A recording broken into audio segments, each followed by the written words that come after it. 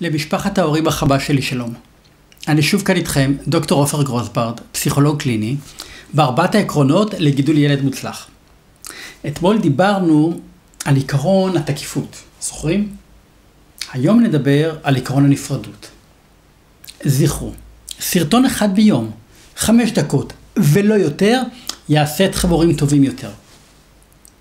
היום אני רוצה לספר לכם על אבא של יונתן, שיודע שיונתן משקר אותו, אבל הוא לא אומר לו כלום. למה הוא לא אומר לו כלום?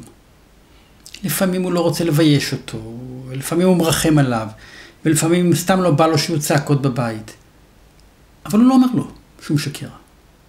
סוף סיפור. מה דעתכם הורים יקרים? מה דעתכם על הסיפור הזה?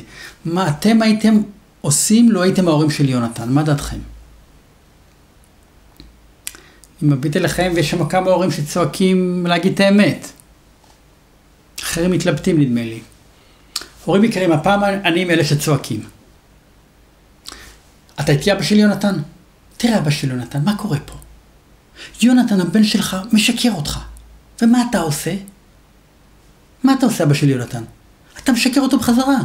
אתה לא אומר לו את האמת שאתה יודע שהוא משקר. אלא מה, אתה הגדול ואתה היית ראשון. אז לא נעים להגיד, אבל אולי הוא למד את זה ממך, אבא של יונתן. אבא של יונתן, תגיד לי יונתן את כל האמת.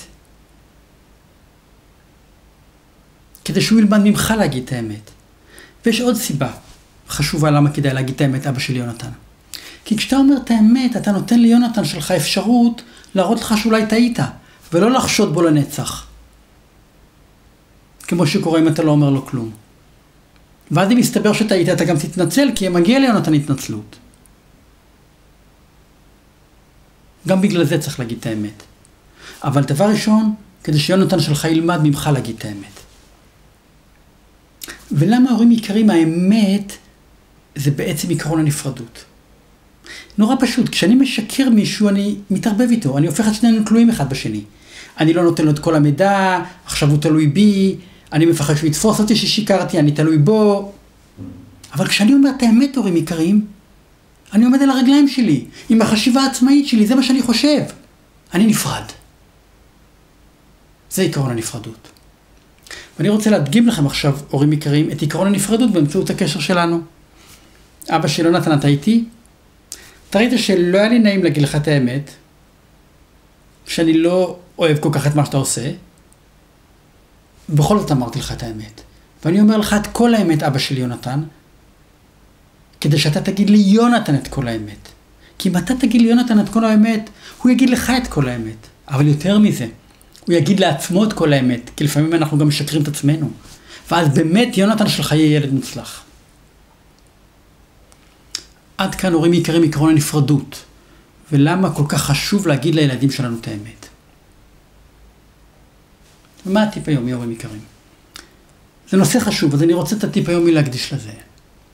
אני רוצה להסביר לכם למה להגיד את האמת קשור ליצירתיות של הילד שלכם, לחשיבה המדעית שלו וליכולת שלו להשתלב בחברה דמוקרטית. זה נורא פשוט. כשאני משקר מישהו, אני עסוק בלסדר אותו. כשאני יוצר, אני עסוק באמת שלי. תבחרו, איזה ילד אתם רוצים. ומה זה מדען?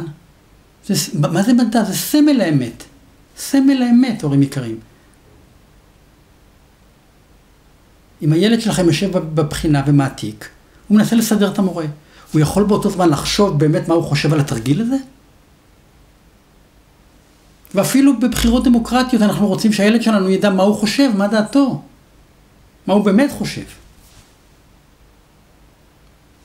עד כאן הורים יקרים, הטיפ היומי. וכמה זה חשוב שאנחנו נשמש דוגמה לילדים שלנו בלהגיד את האמת. היום דיברנו על עקרון הנפרדות. מחר נדבר על עקרון ההתפעלות. מחכה לכם. להתראות.